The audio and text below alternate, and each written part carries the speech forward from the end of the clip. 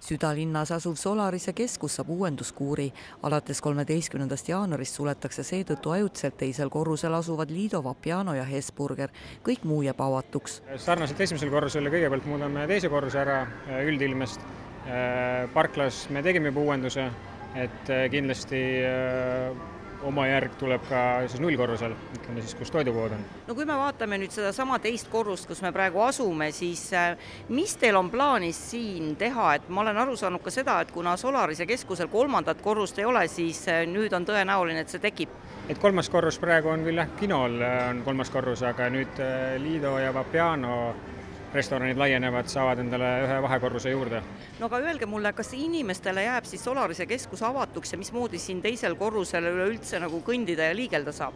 külalistele jääb äh, kogu keskus äh, kogu ehitusperioodiks avatuks, äh, ligipääs on vähemalt kas eskalaatorist või ühest trepist, kino on avatud, ainult siis jah, restoranid Lido ja Vapiano on olenevad siis umbes kaks kuud kinni. no Hesburger ilmselgelt ka, aga öelge, kas need toidukohad saavad ka ruumi juurde? Toidukohad jaa, nii Vapiano kui Lido saavad äh, istekohti juurde, äh, täpselt oleneb nende planeeringust, palju nad sinna ruumi kui istekohti juurde suudavad tekitada. aga kino jääb avatuks ja sinna võib alati tulla? absoluutselt, äh, nii kino, raamatupood, Blender, kõik teisel korrusel on avatud vastavalt siis võimalustele Solarise esimesel korrusel alustatud uuendussuunaga plaanitakse jätkata teisel korrusel. uue näo saab restoran Lido, mis kevadel peaks pakkuma õhulist skandinaavialikku interjööri. välja vahetatakse kogu siseviimistlus ja valgustus.